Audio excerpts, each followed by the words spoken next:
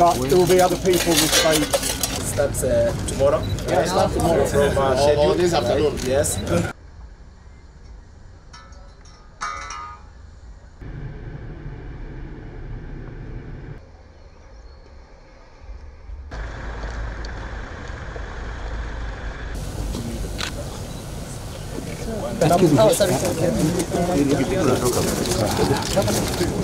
great day as we break the ground for construction of Menengai Geothermal Power Generation Project.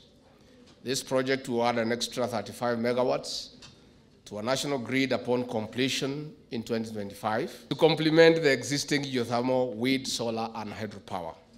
We are implementing this project in partnership with Globeleq with the support of the African Development Bank to a tune of 145 million US dollars. It pushes Kenya closer to our target of 100% transition to renewable energy. Currently, at least 87.42% of our power is green. Geothermal power alone contributes 45.5% to the national grid. This, therefore, means that we are on track to meeting our power demand, which keeps rising at the rate of 3.1% annually.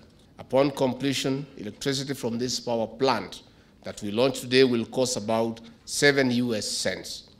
Reduced cost of power is also a catalyst to our development pillar at manufacturing, which will not only reduce the cost of production, but also accelerate job creation for our unemployed population, especially our young people.